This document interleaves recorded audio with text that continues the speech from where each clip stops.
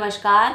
आज मैं आपको बैग बनाने का एक बहुत ही आसान तरीका बताऊँगी। इस तरीके से अगर आपको थोड़ी सी भी सिलाई आती है तो आप आसानी से घर पर ही अपने लिए बैग तैयार कर सकते हैं।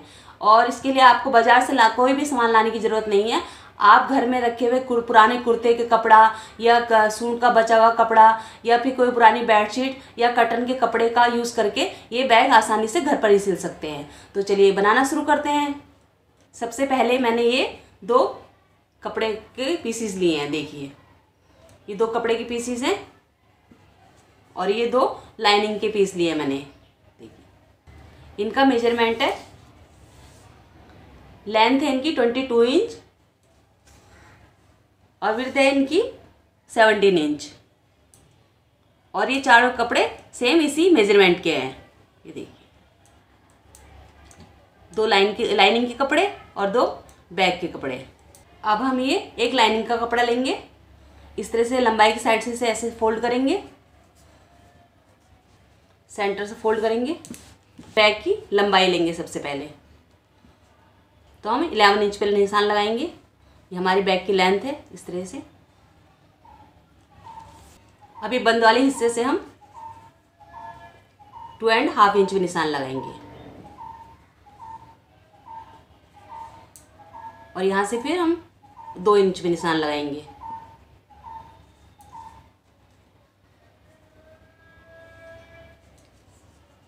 और यहाँ से एक इंच में निशान लगाएँगे। और इस लाइन को इस लाइन से मिला देंगे।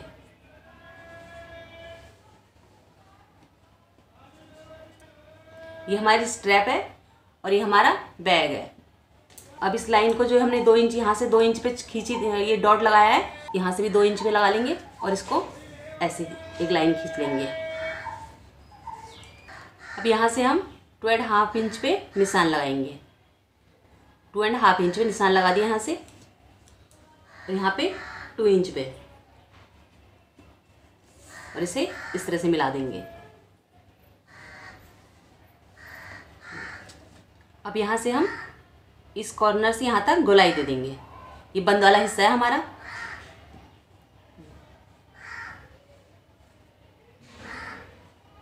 यहाँ से यहाँ तक गुलाई लगा लेंगे इसे भी। देखिए ऐसे। देखिए हमारी स्ट्रैप हो गई और हमारा बैग हो गया। अब यहाँ से हम ये खुले वाले हिस्से से दो इंच पे निशान लगाएँगे इस तरह से। और यहाँ से भी दो इंच पे निशान लगाएँगे। बस इसे एक बॉक्स बना लेंगे इस तरह से। दो बाई दो इंच का एक बॉक्स बना लिया हमने इस साइड से। अब हम इसे कट कर लेंगे।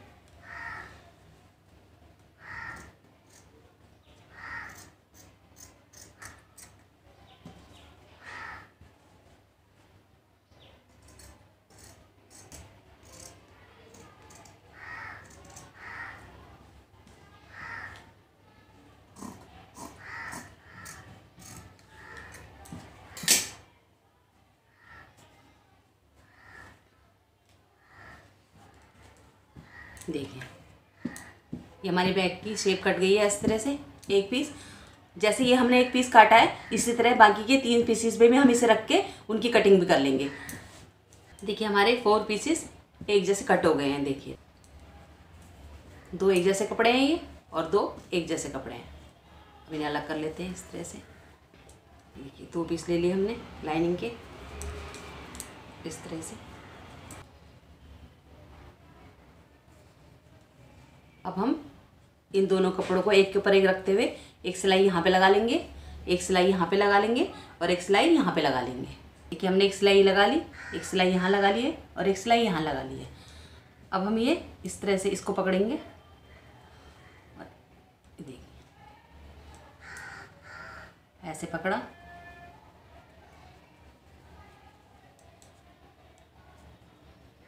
और यहाँ पे एक सिलाई लगा देंगे। दोनों सिलाइयों को मिलाते हुए एक सिलाई यहाँ पे लगा देंगे और इसी तरह एक सिलाई यहाँ पे लगा लेंगे। देखिए हमने कॉर्नर में सिलाई लगा ली है, एक सिलाई यहाँ पे और एक सिलाई यहाँ पे लगा ली हमने। जैसे हमने यहाँ पे सिलाई लगाई थी, इसी तरह सेम हमने ये दोनों कपड़े एक के ऊपर एक इस तरह से अच्छी तरह बिछा लिए। ये देखिए दो कपड़े, एक के ऊपर एक रख के। जैसे इस पर सिलाई की थी, इसी तरह इस पर भी कर लेंगे। पहले इन पे सिलाई कर लेंगे, दोनों साइडों में। इस पर सिलाई कर लेंगे, फिर इनके कॉर्नर पे सिलाई कर लेंगे। इसी तरह से। इसकी सिलाई भी हमने इसी तरह कर ली है, पहले साइड सिल लिए, इस तरह से। अब हमारे इस तरह के दो पीस तैयार हो गए हैं। अब देखिए, इस कपड़े में से मैंने ये दो पीस कट किए हैं। एक साइज़ के दो पीस हैं इनका मेज़रमेंट है फोर एंड हाफ़ इंच इनकी लंबाई है और थ्री एंड हाफ़ इंच इनकी चौड़ाई है। अब हम इन्हें सेंटर से लंबाई वाली साइड से इस तरह से फोल्ड करेंगे। यहाँ से हम एक इंच में निशान लगाएँगे इस तरह। बंद वाली साइड से एक इंच में निशान लगाएँगे इस तरह से।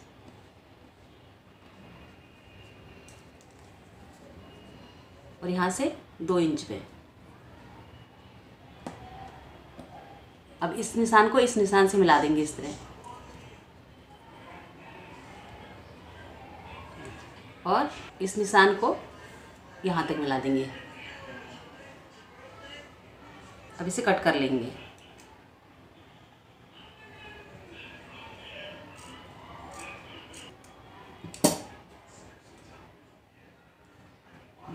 देखिए, हमने कट कर लिया।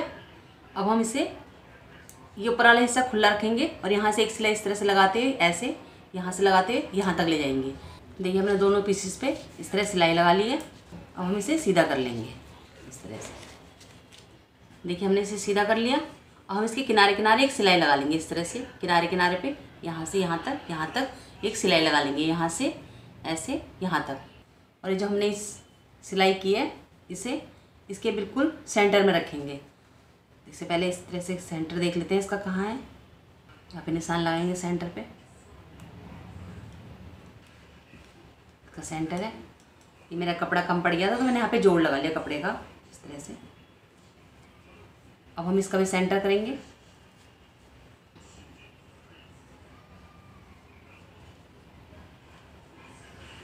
इसका सेंटर भी कर लिया। अब हम इसके सेंटर को, इसके सेंटर पे इस तरह रखेंगे। इस तरह से। और यहाँ पे एक सिलाई से इसे जोड़ देंगे। यहाँ पे सिलाई लगा लेंगे। इस तरह से रख के, इस तरह से सिलाई लगा लेंगे यहाँ पे से ठीक है, हमने सिलाई से यहाँ पे जोड़ दिया सेंटर में। इस तरह से। अब हम अपना लाइनिंग वाला कपड़ा लेंगे।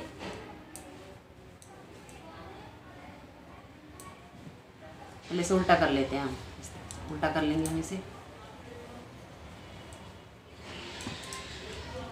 और ये हमने सीधा किया है। ये उल्टा रखा है हमने और ये सीधा है।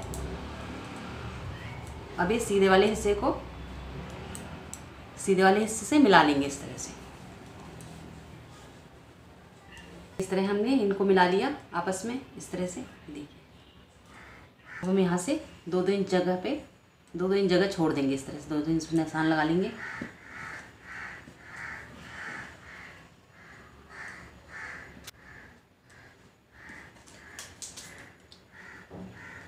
अब हमें यहाँ से यहाँ से इस तरह दोनों को को आपस में जोड़ते हुए, इस तरह से, एक सिलाई यहाँ से गुलाई में, यहाँ तक लगानी है।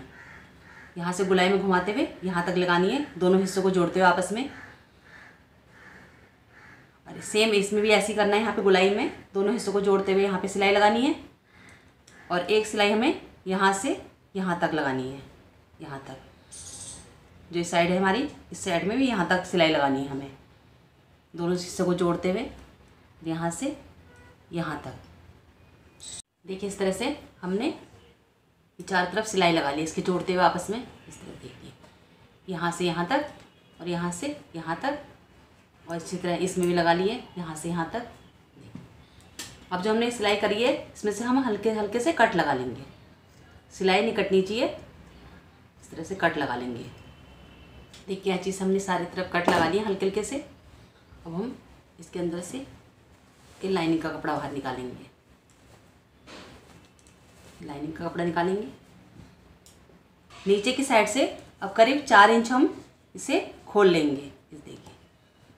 सेंटर से चार इंच खोल लेंगे सिलाई को।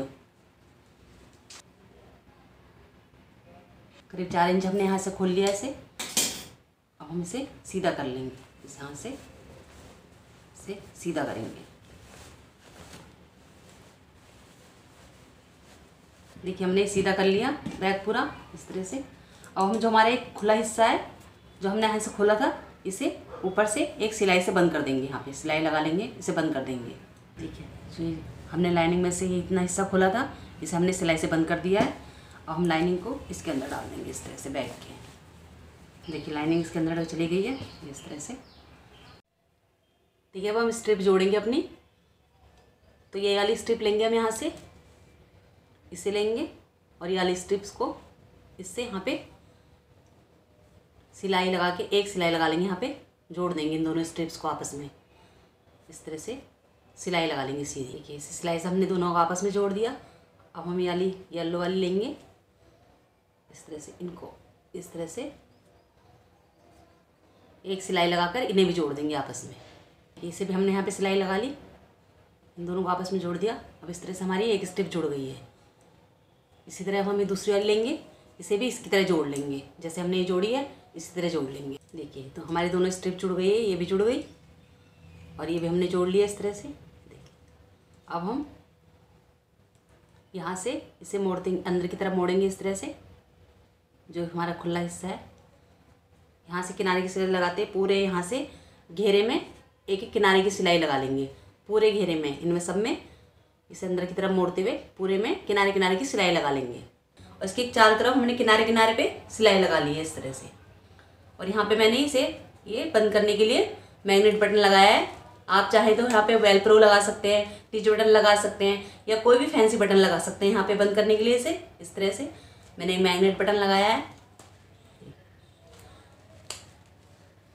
और हमारा बैग बिल्कुल रेडी है। और ये बहुत ही आसान तरीका है बैग बनाने का। आप इसे एक बार ज़रूर ट्राई कीजिए। और फ्रेंड्स अगर वीडियो पसंद आए तो प्लीज़ लाइक कीजिए शेयर कीजिए कमेंट कीजिए। और अगर आप मेरे चैनल पर नए हैं तो प्लीज़ सब्सक्राइब कीजिए।